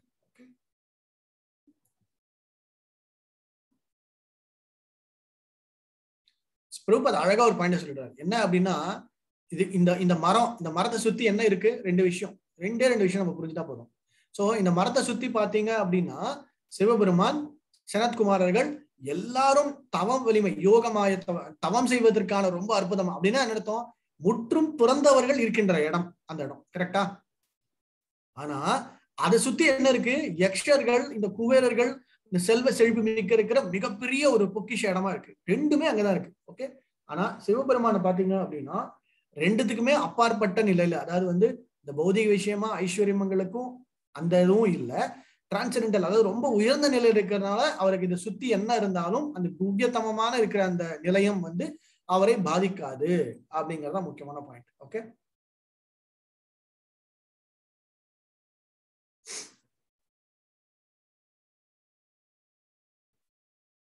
அந்த பாயிண்ட் தான் இந்த இந்த தேர்ட்டி ஃபோர்த் ஸ்லோகம் ரொம்ப முக்கியமானது. அதுலதான் வந்து பிரபா கிளீனா சொல்லிடுறாரு. ஓகே சோ இந்த சனத் ஒரு சைடுல பார்த்தா சனத்குமாரர்களோட சிவபெருமான் இருக்கார். அப்படின்னா அந்த அந்த யோகம் நிலை அந்த முற்றும் துறந்த நிலை. இன்னொரு சைடு பார்த்தா குபேரன் அங்கதான் இருக்கான். ஓகே அப்படி இருந்துமே வந்து அவருக்கு எந்த விதமான பாதிப்பும் இல்லைன்னா அவர் அவரோட பொசிஷன் வந்து அதுக்கும் அப்பாற்பட்ட நிலையில தான் இருக்கார். அதனால பிரபா லாஸ்ட் லைன்ல ரொம்ப அற்புதமா அற்புதமா போடுறாரு. Actually is the qualitative incarnation of the supreme lord அப்படிங்கிறார். So qualitative incarnation of the supreme லார்ட்னா என்ன அர்த்தம்? சிவபெருமானோட பலவிதமான குணங்கள்ல அந்த வைராகியம் அதாவது வந்து ரினவுன்சியேஷன் அதாவது ரெண்டுத்துக்கும் அப்பாற்பட்ட நிலை அதாவது பௌதிக விஷயமா இருந்தாலும் சரி அந்த இந்த டிரான்சிடென்டலா இந்த பிரபஞ்சத்துக்கெல்லாம் அப்பாற்பட்ட நிலையில் இருக்குது. அதனாலதான் சிவபெருமான் வந்து அவரோட பொசிஷன் பிரம்மாக்கும் மேல அப்படிங்கிறது என்னன்னா பிரம்மா வந்து இந்த மெடிடேஷன் இந்த ஃபோர்ஸ் கான்சென்ட்ரேஷன் இந்த மைண்ட் இது பண்றது இன்டெலிஜென்ஸ் இதெல்லாம் வந்து ஒரு ஒரு படி கீழே தான். அதுக்கும் மேல தப்பஸ் இதுக்கும் மேல இருக்கிற யார் அப்படின்னா சிவபெருமான் அப்படிங்கிறது. ஓகே இதுக்கு தமிழ் என்ன போட்டிருக்கு படிங்க வேற அது பர்பட்ல முப்பத்தி நாலாவது பிரபு? லாஸ்ட் லைன் மட்டும் லாஸ்ட்? குமாரர்களுடனும் குபேரர்களுடனும் சிவபெருமான் கொண்டிருந்த தொடர்பினால் அவர்கள் அனைத்து உன்னதங்களையும் பௌதிக செல்வங்களையும் உடையவராக விளங்கினார். உண்மையில் அவர் பரமபுருஷ பகவானின் இயல்போடு பிறந்தவர். ஆதலினால் அவர் நிலை மிகவும் மேன்மையுடையதாகும். ரொம்ப சாதாரணமா போட்டாங்க. பரமபுருஷ பகவான இயல்பாக அப்படின்னா. ஆக்சுவலா அந்த இயல்புங்கிறது என்னன்னா தமிழ்ல இயல்புங்கிறது ரொம்ப சாதாரண வார்த்தை. ஆக்சுவலா அவரோட அற்புதமான குணநலன்கள் அப்படின்னு ஓகே இங்கிலீஷ்ல படிச்சீங்கன்னா அதோட அண்டர்ஸ்டாண்டிங் இன்னும் கொஞ்சம் ஏற்றமா புரியும். பட் அவருடைய இயல்பு இயல்புனா என்னது? அவருடைய குணாதிசயம் அப்படின்னு வேணா சொல்லலாம் இல்லையா? ஆனா குவாலிட்டேட்டிவ் இன்கார்னேஷன் அப்படின்னா அந்த குவாலிட்டிஸ் நம்ம சொல்ற அந்த குவாலிட்டிஸ்லயே ரொம்ப டாப் மோஸ்டா இருக்கிற குவாலிட்டிஸ் எல்லாம் பகவான் கிட்டே இருந்து சிவபெருமானுக்கு இருக்கு அப்படிங்கிற பாயிண்ட் அதனாலதான் அவரோட பொசிஷன் ரொம்ப ரொம்ப ஏற்றமிக்க பொசிஷன் அப்படின்னு பாயிண்ட் ஓகே வித்யா தபோ யோக பதம் ஆசிதம் தம் ஆதீஸ்வரம். சரந்தம் விஸ்வசூரத்தம் வாத்சல்யா ஸ்லோகமங்கலம். ஸ்லோகம் சூப்பர் ஸ்லோகம் ஓகே முப்பத்தி அஞ்சாவது ஸ்லோகம். வித்யா தப யோக எல்லாம் எங்க உட்கார்ந்துட்டு இருக்கு ஆசித்தம் தம் ஆதிஷ் எல்லாம் எங்க உட்காந்துருக்குன்னா சிவபெருமான் கிட்ட. வித்யா முழுமையான ஞானம் தப தபஸ் யோக பதம். யோக பதம்னா பக்திக்கான எல்லா விதமான யோக வழிமுறைகள் பக்தி செய்வதற்கான எல்லா வழிமுறைகள் ஆசிதம் எங்க இருக்கு? தம் சிவபெருமான் கிட்ட. ஆதீஸ்வரம் அவர்தான் ஆதீஸ்வரம்னா பொதுவா நம்ம வந்து நம்மளுடைய அந்த புலன்களை கட்டுப்படுத்துகின்ற புலன்களை இருக்கின்ற ஆதீஸ்வரன் அப்படின்னு சொல்றோம் இல்லையா? சரந்தம் அதை செரிகின்றவர் விஸ்வ சுகூர்த்தம். சுகூர்த்தம் சர்வபூதானாம். சுகூர்த்தம்னா என்ன அர்த்தம்? எல்லோருக்கும் நன்மை தருகின்றவர். சோ விஸ்வ சுகூர்த்தம். எல்லோருக்கும் எல்லோரிடமும் எல்லோரிடத்திலும் வந்து நண்பனாக எல்லோருக்கும் வந்து ரொம்ப ரொம்ப நன்மை என்ன சொல்றது இங்கிலீஷ்ல. அதாவது வெல் விஷர் அப்படின்னு பிரபு அதை அடிக்கடி சொல் எவர் வெல் விஷர் ஸோ சுகூர்த்தம்னா வெல் விஷர்னு அர்த்தம் so well wisher most best well wisher அவர் தான். அப்புறம் வாத்சல்யம். ஸோ வாத்சல்யம்னா என்ன அர்த்தம்? தமிழ்ல வாத்சல்யம்னா உங்களுக்கு தெரியும். ரொம்ப ரொம்ப அஃபெக்ஷனேட்டோட ரொம்ப ரொம்ப பிரியத்தோட ரொம்ப பாசத்தோட லோக மங்களம் ஸோ இங்க இங்கேயும் அதை அழகா சிவபெருமானோட வர்ணனை பாருங்க. வித்யா தப்போ. வித்யா தப யோக பதம் ஆசீதம் தம் ஆதீஸ்வரம். சரந்தம் விஸ்வதூர்த்தம் வாத்சல்யா லோக மங்களம் வித்யா தபோ யோக பதம் ஆசிதம் தம் ஆத்மீஸ்வரம் சரந்தம் விஸ்வசூர்த்தம் வாத்சல்யா லோகமங்கலம். ஃபண்டாஸ்டிக் ஓகே ஸோ முழுமையான ஞானம் முழுமையான அந்த இது தபஸ் எல்லாத்துக்குமே பாத்தீங்கன்னா டாப் மோஸ்ட் அதுதான் சொல்லுவாரு. ஓகே ஆதி ஈஸ்வர. ஸோ ஈஸ்வர அப்படின்னாலும் தெரியும். ஓகே எல்லாருமே ஒரு நிலையில பார்த்தா ஈஸ்வரர்கள் இதுல ஆதீஸ்வர அப்படிங்கிற பாயிண்ட் அழகாக யூஸ் பண்ணுவாங்க.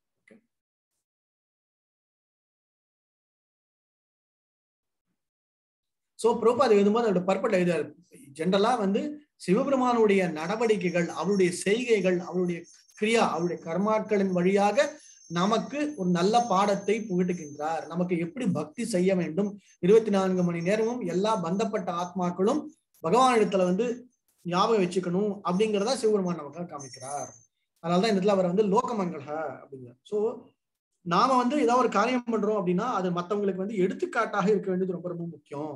நம்ம ஒரு பேச்சு பேசுறோம் நம்ம செய்கைகள் இருக்கு அப்படின்னா அது மத்தவங்களுக்கு எடுத்துக்காட்டா இருக்கிற மாதிரி இருக்க வேண்டும். அது மூலமா நாலு பேர் பார்த்து தெரிஞ்சுக்கணும் அப்படிங்கிறது. அதுல யார் ரொம்ப டாப் மோஸ்ட் சிவருமான் லிங்கம் சதபா அபிஷ்டம் பஸ்ம தண்ட ஜதாஜினம். அங்கே அங்கேன சந்தியாபர ருச்சித சந்திரலேகம் விபத்தம். ஸோ இதான் அவருடைய வர்ணனை.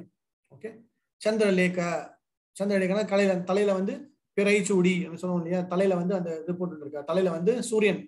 விரைச்சந்திரன் சந்திரன் இருக்கு. எங்க உட்கார்ந்துருக்கார் லிங்கம் ச லிங்கம்னா அந்த பொசிஷன் அவருடைய போஸ்ட் பொசிஷன் எப்படி இருக்கு? லிங்கம் ச தபச ஆபிஷ்டம் சோ எல்லோரும் எல்லாரும் எப்படி பார்க்கணும்னு ஆசைப்படுறாங்களோ அந்த அற்புதமான அந்த ஒரு போஸ்டர் அந்த அந்த மாதிரி ஒரு ஆசனத்துல ஒரு இதுல உட்கார்ந்துருக்கார் பஸ்ம தண்ட ஜதா அஜீனம். சோ இதுதான் வந்து நீங்க இப்ப சிவபெருமான எப்படி இருப்பார்? எப்படி அவர் அலங்காரம் எப்படி வந்து அவர் காட்சி தருவார் அப்படின்னா இப்படிதான் காட்சி தருவார். எப்படி காட்சி தருவார்? உடல் முழுக்க பஸ்மம். பஸ்மனா உடல் முழுக்க அந்த விபூதி இல்லைன்னா வந்து அந்த சாம்பல் நிறத்தை போட்டுருப்பார். இருப்பார் தண்ட கையில தண்டம் இருக்கும். ஜடா அப்படின்னா ஜடா முடி ஜடாதரா அப்படின்னு ஜடா ஜடா முடி இருக்கும். அஜினம் எதுல உட்கார்ந்து இருப்பார் அந்த மான் தோல்ல உட்கார்ந்து இருப்பார் உடல் முழுக்க அங்கேன சந்தியா ஆப்ர உடல் முழுக்க பாத்தீங்கன்னா ரொம்ப ரெட் கலர் இருக்கும். ருச்ச சந்திரலேகனம். சோ தலையில பாத்தீங்கன்னா வந்து என்ன இருக்கும்? பிறை சந்திரன் சந்திரலேகனம். அந்த பிபர்த்தம் சந்திரலேகம் ச பிபத்தம் சோ தலையில வச்சுட்டு ஸோ நீங்க வந்து சிவபெருமானுடைய வர்ணனை அப்படின்னா இதுதான். ஓகே இன்ஃபேக்ட் இதெல்லாம் எப்படின்னா பாகவத்துல வந்து ஜஸ்ட் இந்த இந்த என்டையர் செக்ஷன் பாகவத்துல பாத்தீங்கன்னா ஜஸ்ட் ஒரு நாலஞ்சு சாப்டர் தான். ஆனா நீங்க இது வந்து லிங்க புராணம் இல்லைன்னா வந்து சிவபுரமா சிவபுராணம் அப்படின்னு நம்ம ஈரேழு இந்த சாரி பதினெட்டு புராணங்கள்ல ஸ்பெசிஃபிக்கா இதை பத்தி இன்னும் கொஞ்சம் ரொம்ப டீட்டெயில்டா உங்களுக்கு தெரியணும் அப்படின்னா இது ஒன்னு ஒண்ணுத்துக்கும் வந்து கிட்டத்தட்ட ஒரு தனி சாப்டரே இருக்கும். இந்த ஒரு ஸ்லோகத்துக்கு தனித்தனி சாப்டர் நீங்க லிங்க புராணம் அப்புறம் வந்து சிவபுரமானம்லாம் போனீங்கன்னா அதுக்குள்ள டீட்டெயில்டா இருக்கும். பட் நமக்கு வந்து நமக்கு என்ன மெயினா தெரியணும் அப்படின்னா அவர் அவருடைய நிலை அவருடைய குணம் அவர் பகவானுடைய அந்த தியானத்துல இருக்கிற இது இது தெரிஞ்சுட்டாலே நமக்கு போதும். சரியா?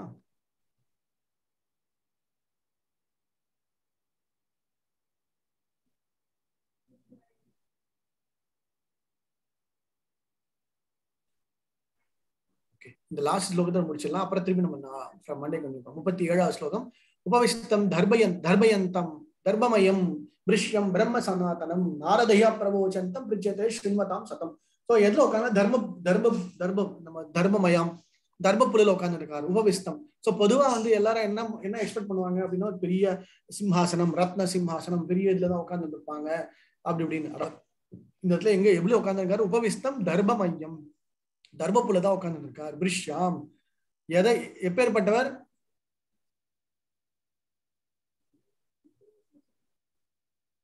பிரம்ம சனாதனம் நாரதையா. சோ நாரதருக்கே பிரம்ம சனாதத்தை வந்து சொன்னவர் அப்படின்னு அர்த்தம். ஓகே சோ நாரதர்கிட்ட வந்து ஒரு பேசிட்டு இருக்காரு என்ன பேசிட்டு இருக்காரு பக்தி பக்தியை பற்றியும் பிரம்ம பிரம்ம சனாதனத்தை பற்றியும் நிரந்தரமான அந்த பிரபோச்சம் பிரவோச்சந்தம் பிரிச்சதே ஷின்வதாம் சதாம். சோ அங்க இருக்கிற முனிவர்கள் ரிஷிகள்லாம் உட்கார்ந்துட்டு இருக்காங்க நாரதனும் உட்காந்து சோ இதை அப்படியே நினைச்சு பாருங்க. ஒரு ஒன் ஒரு சாப்டர் முன்னாடி பாத்தீங்கன்னா பயங்கரமா கோவம் வந்து தலைமுடியெல்லாம் இது பண்ணிட்டு பல்லெல்லாம் கடிச்சுண்டு கோவத்துல அப்படியே கொந்தளிக்கிற மாதிரி வந்து தலைமுடியில இருந்து ஒரு இது உருவாக்கி எல்லாம் பண்ணவர். இந்த இடத்துல ரொம்ப சாதாரணமா ஒரு பெரிய மாலமரத்துக்கு கீழே உட்காந்துட்டு தபஸ் பண்ணிட்டு கூட சனத்குமாரர்கள் நாரதர்கள் ரிஷிகளோட உட்காந்துட்டு என்ன பண்ணிட்டு இருக்கார்? பிரம்ம சததாம் நாரதையா பிரபோச்சந்தம் பிரவச்சனம் கொடுத்துட்டு இருக்காராம் என்ன பிரவச்சனம்? பக்தி தொண்டை பத்தி சொல்லிட்டு இருக்காராம் பிரிச்சதே ஸ்ரீன்வந்தாம் சதாம். அங்க வந்து எல்லா முனிவர்கள் எல்லாரும் உட்காந்து கேட்டுட்டு இருக்காங்க நாரதரும் உட்கார்ந்து இருக்கார் அவங்க கிட்ட வந்து ரொம்ப அற்புதமா வந்து சிவபெருமான் நாரதருக்கு வழியாக என்னது வேதங்களுடைய ஞானம் மற்றும் பக்தி தொண்டுக்கான அந்த முக்கியமான பாயிண்டை வந்து டிஸ்கஸ் பண்ணிட்டு இருக்காரு அப்படின்னா பாத்துக்கோங்க. சோ இதுல இருந்து என்ன தெரியுது அப்படின்னா உயர்ந்த நிலையில இருக்கிறவங்களும் தங்களுடைய மனதை தன்னுடைய நிலையை தன்னுடைய அந்த கோபம் எல்லாத்தையும் வந்து எப்படி ஆட்கொள்வது எப்படி கொள்வது அப்படிங்கிறது ரொம்ப பர்ஃபெக்டா தெரிஞ்சுக்கணும். சோ எந்த சமயத்துல எதை பிரயோகிக்கணும் எந்த சமயத்துல அதை அப்படியே மாற்றி அமைத்துக் கொள்ள வேண்டும் அப்படின்னு நமக்கு தெரியும். ஒரு ஒரு டைம்ல இப்ப பாத்தீங்கன்னா மனைவியை வந்து இல்ல அதே சமயத்துல வந்து மனைவி அழிக்கப்பட்டால் கூட இந்த இவங்க எல்லாம் அமுச்சு விட்டாரு. இவரு இவர் போய் ஒன்றும் பண்ணல. ஓகே இவர் அமுச்சு விட்டுட்டு இந்த இடத்துல பாத்தீங்கன்னா அவர் பாடுக உட்காந்துட்டு யோக வழிமுறை மூலமாக இந்த இடத்துல உட்காந்துன்னு வந்து பிரவச்சனம் பண்ணிட்டு இருக்கார் அப்படின்னு. ஸோ இதுதான் வந்து சிவபெருமானியம் ஓகே ஸோ அவருடைய கோல் நோ இது என்ன அப்படின்னா பர்ஃபெக்டா தெரியும். It he's always trying to please the supreme person எப்பவுமே பகவானை திருப்தி பண்றதுக்காக அந்த நிலை இருப்பார். ஆனா எந்த சமயத்துல ஏதாவது ஒரு தவறுதல் நடக்குது அப்படின்னா அந்த கோபத்தை வெளிப்படுத்தி பிரளயத்தை உருவாக்கி எல்லாம் சொல்றாரு அதுவும் ஒரு இடத்துல பார்த்தோம்னா வந்து அதுவும் கிட்டத்தட்ட பார்த்தோம்னா ஒரு வகையான என்ன சொல்றது ஒரு வகையான சேவை மாதிரி தான் செஞ்சுட்டு ஸோ இந்த மாதிரி சூழ்நிலையில அந்த தேவர்கள்லாம் வந்து பகவானை பார்க்க வராங்க அப்படின்னு.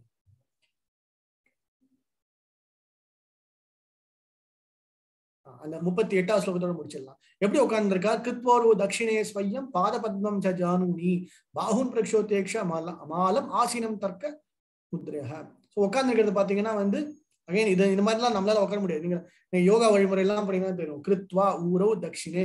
ஸோ இட அதாவது சொல்றது வலது தொடைய மேல போட்டுண்டு கை கைகள் மாதிரி உட்கார்ந்துட்டு உட்காருது வீராசனம் அப்படின்னு. வீரா வீராசனம் அப்படின்னு. ஸோ இது வந்து இந்த உட்கார போஸ்டர் இங்க பத்மாசனத்துல உட்கார மாதிரி யூஸ்வலா வந்து இந்த ரைட் காலை வந்து லெஃப்ட் மேல உட்காருதுங்கிறது ரொம்ப கொஞ்சம் டஃப்பான விஷயம். ஓகே இடது தொடை மேல வலது காலை மேல வைக்கிறது தான் பர்ஃபெக்ட் ஸோ பத்மாசனங்கிறது ரெண்டுத்தையுமே ரெண்டு கால்களையும் மேல எடுத்து வைக்கிறது. ஆனா அது நம்மளால முடியாது. இப்போ ஜென்ரலா நம்மளுடைய மென்டாலிட்டி எப்படி போகும்னா left will go into the right ஆனா நீங்க உட்காரும் போது சில சமயம் ரைட் மேல எடுத்து வச்சீங்கன்னா தான் மோஸ்ட் பர்ஃபெக்ட் அப்படின்னு. ஸோ கையில என்ன பண்ணிட்டு இருக்கார் அக்ஷமாலாம். அக்ஷமாலாம்னா அந்த ருத்ராட்ச இது அந்த மாலை அந்த பீட்ஸ் அதை வச்சுருக்கார் ஆசீனம் தத்ர முத்ரையாக தத்ரக முத் தத்ர முத்ரைனா அந்த முத்ரை கையில வச்சுட்டு அந்த ருத்ராட்சம் வச்சுருக்கார் ஸோ இதனால தான் இது இந்த மாதிரிலாம் வந்து ஸ்பெசிஃபிக்கா பாகவத்துல ஸ்பெசிஃபிக்கா இருக்கிறனால தான் நீங்க நிறைய இடங்கள்ல சிவபெருமானுடைய தோற்றம் சிவபெருமான் எப்படி இருக்கார் அப்படின்னு பாத்தீங்கன்னா இந்த வர்ணனை தான். ஓகே ருத்ராட்சம் வச்சுட்டு இருப்பார் தலையில வந்து பிறை சந்திரன் வச்சுட்டு இருப்பார் கையில வந்து இந்த சூலத்தை வச்சுட்டு இருப்பார் ஒரு மாந்தோல தோலை உட்கார்ந்துட்டு இருப்பார் அப்படிலாம் வர்ணனை பாக்குறீங்க இல்லையா? அந்த யோக நிலையில உட்கார்ந்துட்டு இருப்பார் ஸோ அந்த நிலை தான் இந்த இந்த ஸ்லோகத்துல எக்ஸ்பிளைன்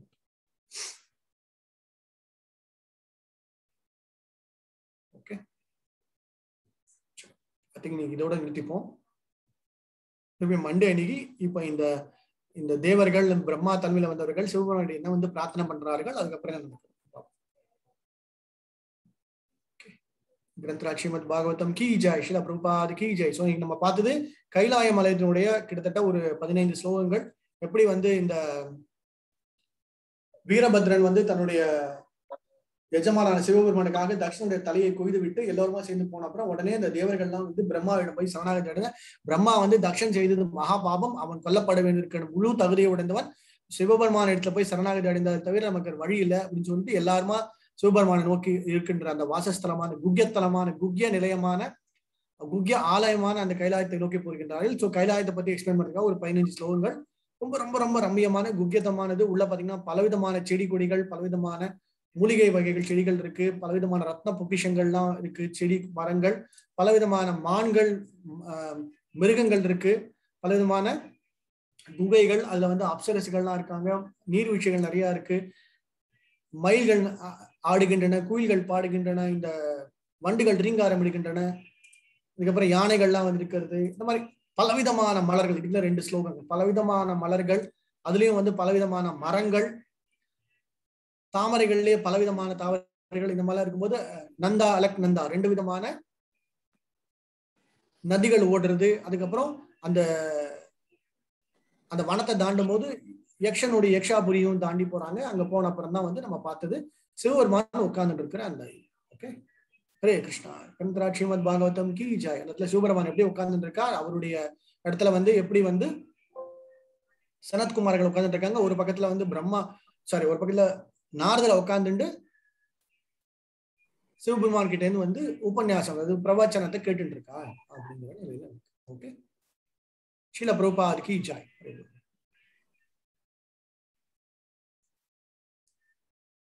ஓகே ஏதாவது கேள்வி இருந்தா கேட்கலாம் இல்லைன்னா மண்டே அன்னைக்கு தெரியும் சிவபெருமானுக்கு ஜாய்.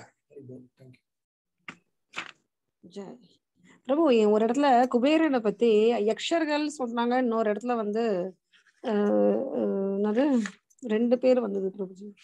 குஹியர்கள்னு சொல்றாங்க யக்ஷர்கள்னு சொல்றாங்க. ஒன்னு யக்ஷர்கள் இன்னொன்னு குக்கியர்கள் டூ டைப்ஸ் ஒரு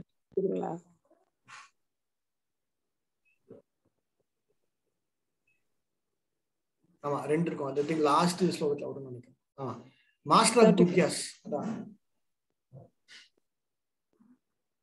குகையர்களின் தலைவரான தெய்வீக அருள் பெற்ற குபேரன் இல்ல குக்கியர்கள் தான் யக்ஷர்கள். அது அது இந்த மாதிரி போட்டிருக்கு. குக்கியர்கள் தான் யக்ஷர்கள். ரெண்டும் ஒண்ணுதான். ஓகே. குக்கியக்க ராட்சசானா. பிராத்தடுத்த குக்கியக ராட்சசம் குக்கியர்கள்லாம் இதுல ஐ திங்க் இதுதான். யக்ஷர்களை தான் கொடுக்கு ஏன்னா யக்ஷேஸ்வரன் வந்ததா? யக்ஷேஸ்வரனா ஒரு பெரிய யக்ஷர்களோட இன்னொரு இதுதான் குக்கிய குக்கியகா வெரி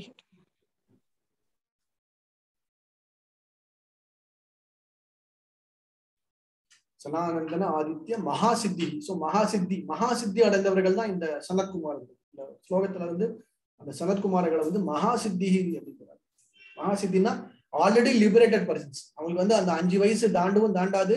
பல கோடி வருஷங்கள் ஆனாலும் அவங்களோட வயசு எப்பவுமே அஞ்சு வயசு தான் இருப்பாங்க. அதெல்லாம் மகாசித்தி அடைந்தவர்கள். அதெல்லாம் அவங்க எல்லா லோகங்களுக்கும் அவங்களால போக முடியும். எல்லா இடங்கள்லயும் அவங்க இருக்க முடியும்.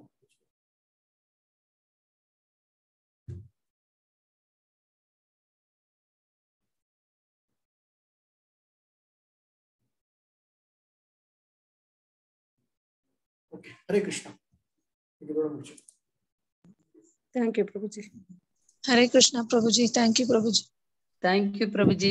Hare Krishna. Hare Krishna. Thank you, Prabhuji. Hare Krishna, Prabhuji. Thank you, Prabhuji. Hare Krishna இது பிரபுஜி கைலாசம் அப்படின்னா ஏதோ சும்மா சாதாரணமா ஒரு மலை அது சுத்தி ஒரே பனியா இருக்கும் அப்படிலாம் நினைச்சிடாது Hare Krishna. Thank you, Prabhu. हरे कृष्णा प्रभु जी दंडवत प्रणाम प्रभु Hare Krishna Hare Krishna, Prabhuji.